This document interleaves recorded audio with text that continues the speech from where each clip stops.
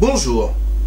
Aujourd'hui sur cuisineastuce.com, nous allons réaliser une galette des rois, mais sa crème d'amande, elle sera faite sans œufs. 100 g de beurre.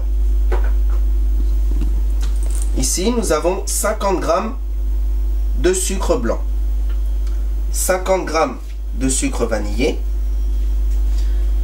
un pot de yaourt nature, 200 g de poudre d'amande, 10 ml de fleur d'oranger, 10 ml de rhum. Pour cette recette, donc, je vais commencer par blanchir. Bah, c'est simple. Mon beurre avec le sucre. Le sucre blanc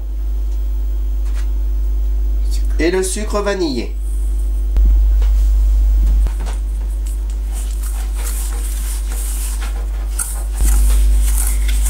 Donc, une fois mélangé, le mélange bien incorporé, le rhum facultatif, évidemment, vous n'êtes pas obligé hein, pour la recette, 10 ml, 10 ml de fleur d'oranger, puis après, vous allez mettre le pot de yaourt nature. Alors, vous pouvez mettre aussi un pot de yaourt nature aromatisé à la vanille.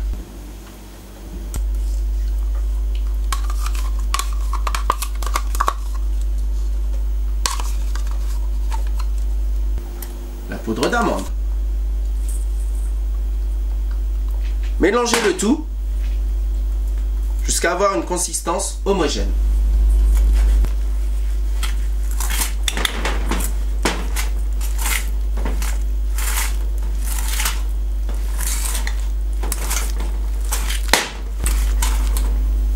Donc pour ce faire, pour cette recette, je ne vais pas faire la pâte feuilletée.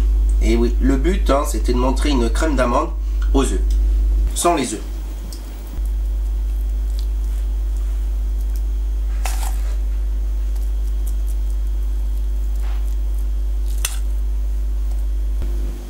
Évidemment, pour que les pâtes se collent, je vais mettre simplement un petit peu de, de lait que j'ai fait un petit peu aromatiser dedans.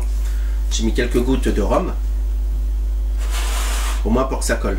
Théoriquement, on devrait le faire avec du jaune d'œuf, et même aussi pour la dorure au-dessus. Donc, vous badigeonnez bien autour. Voilà, comme ça, vous allez pouvoir mettre l'autre pâte à côté. L'autre pâte dessus. À peu près au milieu.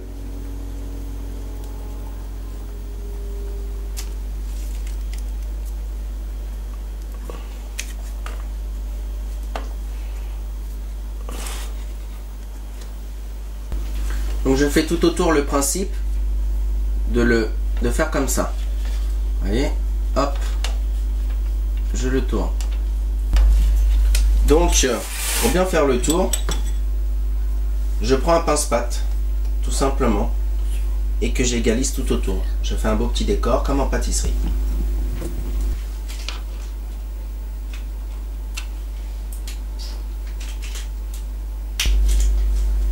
Donc voici le résultat une fois fini. Hein. Voilà. N'oubliez pas de mettre la fève, hein, ici pour la galette des rois.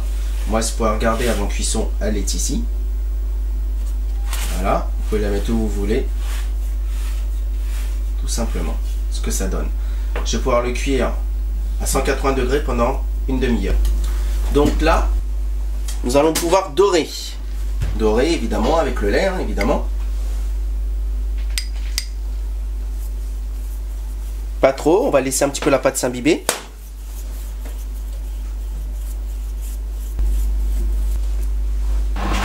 Donc voici, nous allons mettre la galette des rois. J'ai fait quelques petits dessins dessus. Je l'enfourne à 180 degrés pendant 25 minutes à une demi-heure. Donc là, j'ai sorti la galette euh, des rois euh, du four. J'ai laissé à peu près 10 minutes de plus à 180 degrés, donc 40 minutes à 180 donc, degrés. Faire un petit sirop à base d'eau et de sucre, et puis euh, vous pouvez l'infuser, vous pouvez mettre dedans une petite liqueur d'amande, ça donnera un bon petit goût. Et puis, bah, sinon, moi, j'ai pas fait de sirop et j'avais pas de liqueur d'amande. Mais par contre, j'ai du sirop d'agave, là, que je vais mettre et puis euh, que j'ai commencé à mettre. Surtout quand la galette est encore chaude, comme ça, ça va bien le... Bah, ça lui donne une belle, une belle couleur. Donc, euh, comme vous pouvez voir, euh, j'ai bien badigeonné le sirop en surface. Ça fait déjà tout de suite, ça donne une belle, une belle couleur. ça, ça met tout de suite en valeur le produit. Donc euh, je peux vous dire euh, qu'il manque plus qu'à déguster. Et cette recette est maintenant terminée sur cuisineastuce.com.